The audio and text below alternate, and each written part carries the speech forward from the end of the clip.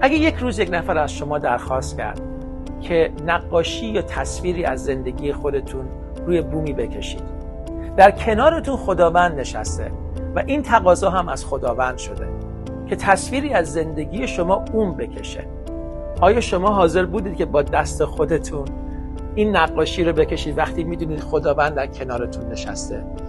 پس من اگه بودم می‌گفتم خداوند تو این تصویر زندگی من رو این نقاشی رو توی روی بوم بکش. چون تو می‌دونی آینده من چیه. تو می‌دونی چقدر زیباتر زندگی من می‌تونه شکل بگیره. چون چیزی که من از زندگی این تصویر دارم ناکامله. انتظاراتی که دارم باورم امیدهام شکهام تردیدهام زیاده. ولی تو تصویری که از زندگی من داری بسیار زیباتره. پس من به تو اجازه میدم تصویر زندگی من رو بکشی. من به تو اجازه میدم که زندگی من رو هدایت پس به جای اینکه قلم رو دست خودم نگه دارم قلمم رو دست خداوند میدم و از اون درخواست می‌کنم. تو زندگی من رو هدایت کن. تو زندگی من رو راهنمایی کن. تو نقاش زندگی